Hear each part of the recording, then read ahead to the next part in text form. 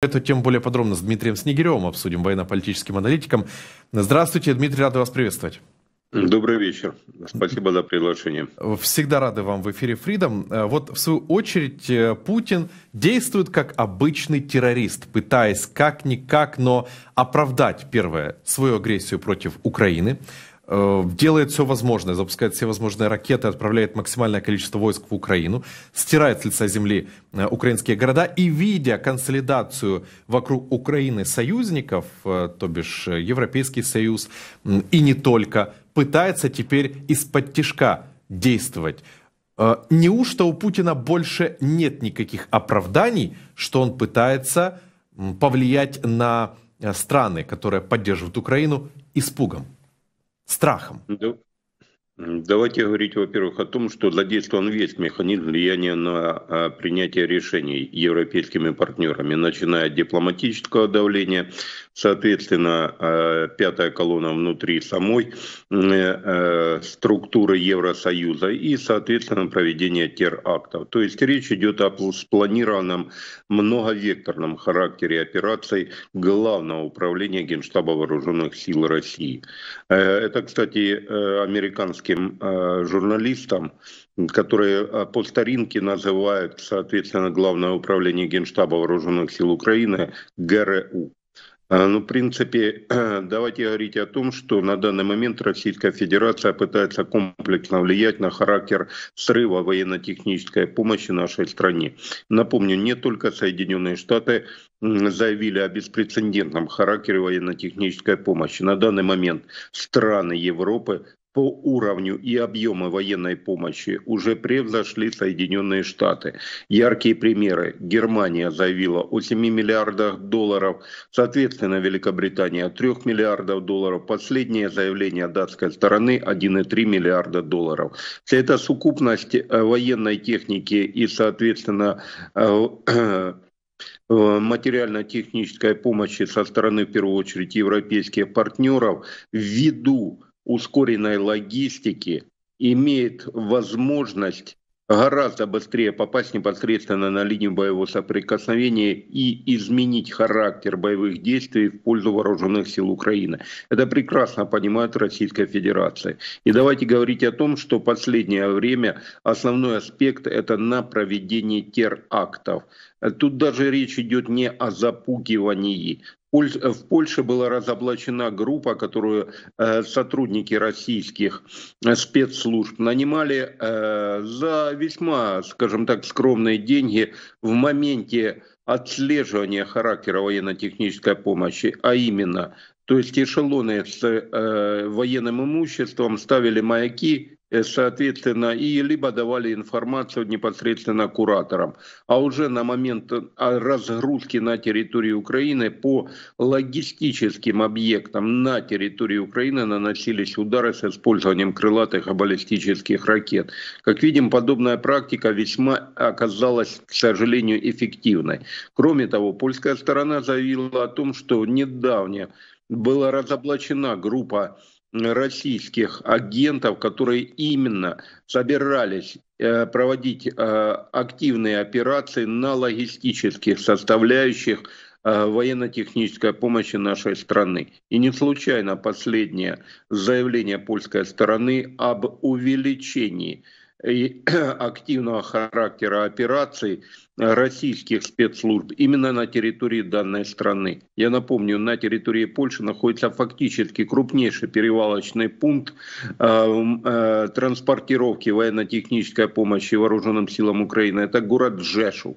И не случайно польская сторона это буквально заявление последних двух дней, заявила о беспрецедентных характерах мер безопасности э, с целью недопущения диверсионных актов в районе, либо непосредственно в данном логистическом э, центре сил НАТО. Кроме того, аналогичная ситуация и в Германии, где, соответственно, были зафиксированы ряд Э, диверсионных актов на предприятиях, которые связаны с ВПК данной страны. Причем немецкие спецслужбы отмечают возможную причастность российской стороны к проведению данных диверсионных актов. За данными немецкой разведки, Российская Федерация резко активизировала деятельность спящей агентуры не только на территории Германии, но, соответственно, ряда других европейских стран. Э, основная цель Российской Федерации не допустить Э, э, соответственно, попытаться сорвать характер военно-технической помощи силам обороны Украины, чтобы не дать возможности вооруженным силам противостоять российскому наступлению. Но, в свою очередь, 6 тысяч ударных беспилотников типа «Шахет» ежегодно планирует выпускать российский завод в Алабуге. И в конце апреля он уже опередил свой производственный график и поставил 4,5 тысячи дронов. Это Издание Wall Street Journal пишет, по данным издания, российские бизнесмены заключили соглашение о строительстве вышеупомянутого завода еще в конце 2022 года. Тогда они прилетели в Иран с выгодным предложением в виде э, около 2 миллиардов долларов, которые частично были оплачены золотыми слитками – Согласно данным разведки, российских военных уже обучают управлять беспилотниками в Сирии инструкторы из революционной гвардии и поддерживаемой Ираном боевой террористической группировки Хезбалла. И тут как раз опять же то, о чем мы с вами начали, с чего мы с вами начали террористические э, нападки у Путина и делает все для того, чтобы эта война не заканчивалась. Хотя Путин публично говорит, мол, открыты к переговорам и хотят переговоров. Э, есть ли сейчас механизмы предотвратить действия Путина по дальнейшей эскалации? Как вы считаете? И за счет э, наших союзников в том числе. Давайте, во-первых, э, дадим объяснение по поводу последнего заявления. Речь идет не только о Wall Street Journal по поводу увеличения количества беспилотников до 6 тысяч. Wall Street Journal, наверное, будет интересно опять-таки узнать очередным американским журналистам о том, что подготовка российских специалистов в моменте обучения БПЛА проходила на территории Сирии начиная с 2022 года. Не случайно нанесение ударов армии обороны Израиля по трем ключевым объектам именно производством БПЛА была на территории Сирии, которые были подчинены проиранской группировке Хезболла. Причем э, во время последнего удара, по сообщениям самой сирийской стороны, погибли российские специалисты. Транспортировка иранских, так называемых иранских беспилотников, то есть беспилотников, которые производились под руководством специалистов Хезбалла, но на территории Сирии, происходила с сирийского порта Тартуса непосредственно уже на территории оккупированного Крыма. С 22 года подготовка. Сейчас Wall Street Journal пытается делать большие глаза и подавать это как уникальную информацию. По поводу 6 тысяч. Вы знаете, меня очень, ну скажем, тревожит тот характер информации, которая подается западными СМИ. И я напомню, кроме 6 тысяч беспилотников, на этой неделе вбросили информацию о возможности, соответственно, производства ракет зенитно-ракетным комплексом С-300, которые наносят удары по территории Украины, ну и, соответственно, это использование аэробаллистической траектории. Так вот, С-300 в чем э, момент? Это зенитно-ракетный комплекс еще советского производства. Перед Российской Федерацией стоял вопрос ограниченных сроков хранения ракет к данному зенитному ракетному комплексу. Это 30 лет. По данным специалистов, э, запас ракет до 2,5 тысяч. Поэтому нет потребности в производстве. Это, во-первых. А во-вторых, сам производственный цикл российского ВПК не рассчитан на подобное количество средств поражений. Но для чего-то это вкидывается в СМИ. То есть создается фон якобы работающей российской оборонки. И, соответственно, целью нагнетания, ну, скажем так, панических настроений в украинском информационном пространстве. Давайте и еще один эпизод опровергнем по поводу возможности российского ВПК выпуска 3,5 миллионов снарядов, о которых сообщал Нью-Йорк Таймс.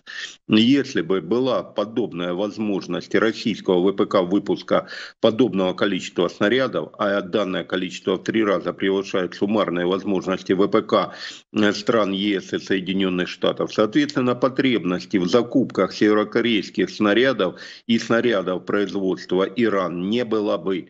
А на данный момент Российская Федерация вынуждена компенсировать нехватку артиллерийских снарядов снарядами производства КНДР, которые разрываются непосредственно на момент, соответственно, э, выстрела, причем в дуле э, средств, артиллерийских средств поражения. У нас есть видео подтверждения данных фактов, которые свидетельствуют о низком качестве артиллерийских снарядов, поставляемых с КНДР.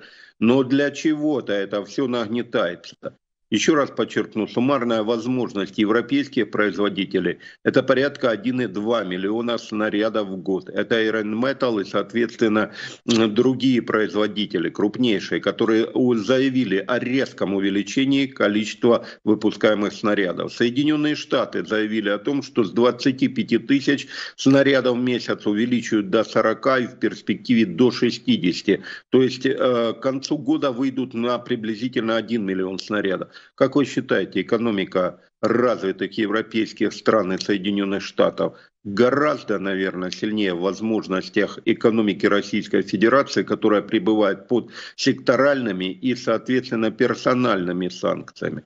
Для чего, соответственно, партнеры, либо, ну, скажем так, журналисты стран-партнеров пытаются организовать подобные информационные кампании, причем в украинском информационном пространстве, давая откровенно непроверенную информацию о возможностях российского ВПК.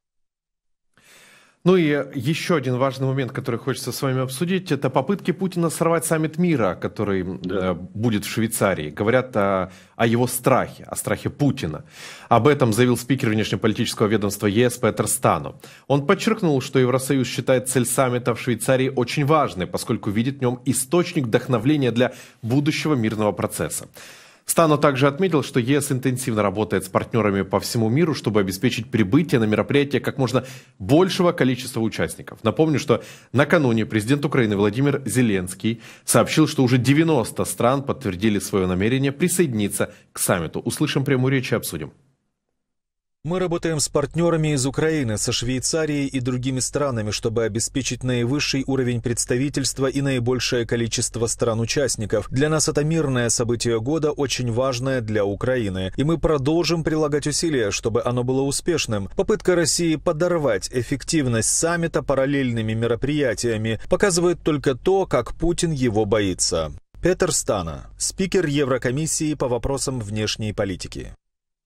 Дмитрий, тут, с одной стороны, видим заявление Путина касательно того, что э, нет, не Путина, э, Пескова. Пескова. Ну, в принципе, то, что говорит Песков, то думает э, Путин. Разницы нет. Но все же. Песков сказал, что вообще не считают данный саммит мира, который планирует провести Зеленский в Швейцарии, вообще не считают его серьезным. В то же время каждый день российская пропаганда впитывает в головы россиянам о том, что это очень плохо, это вообще никакого смысла не имеет и так далее, но в то же время пытаются сорвать этот саммит мира. Значит, все-таки есть что-то то, что пугает Путина в этом глобальном саммите мира, что такие желания его максимально оклеветать и сорвать? Конечно, давайте говорить о том, что, во-первых, Путина пугает концентрированная позиция э, э, стран э, мирового содружества. То есть страны мирового содружества дают понять, что рассматривают Российскую Федерацию, соответственно, как страну агрессора, и более того, Российская Федерация на данный момент, благодаря своей риторике, она прекратилась э, в страну изгоя. И это четко дают понять представительским форумам. Если уже 90 стран выразило желание присутствовать на данном форуме, то речь идет, соответственно, о формировании расширенного э, э, масштаба антипутинской коалиции. Э, не только стран э, европейского сотрудничества, а соответственно и на других континентах. Именно, э, скажем так, концентрированное усилие данного форума в моменте привлечения внимания к проблемам в нашей стране, а именно прекращения войны, и пугает Путина. До, до последнего момента Российская Федерация, соответственно, российский диктатор пытались использовать так называемую миролюбивую риторику, либо же продвинуть э, свою версию так называемых мирных переговоров. Причем в основе данной российской версии стояло исключительно э, э, желание Российской Федерации заскрепить статус-кво оккупированных территорий Украины, Луганской, Донецкой, Запорожской, Херсонской, ну и, соответственно, автономной республики Крым. И на данный момент, вот именно проведение данного форума говорит о возрастающей поддержке Украины и именно украинского плана окончания данной войны. А окончание войны украинского плана – это вывод российских оккупационных войск и, соответственно, восстановление в полном объеме э, территориальной целостности и суверенитета нашей страны. Вот это и пугает российского диктатора. Дмитрий, огромное вам спасибо, что нашли время присоединиться к нашему эфиру. Всегда рады вам в эфире Freedom. Дмитрий Снегирев, военно-политический аналитик, с нами был на прямой связи. Вся правда о войне России против Украины. Узнавайте оперативные новости первыми в телеграм-канале Freedom. Freedom – только то, что действительно важно знать. Подписывайтесь, ссылка в описании.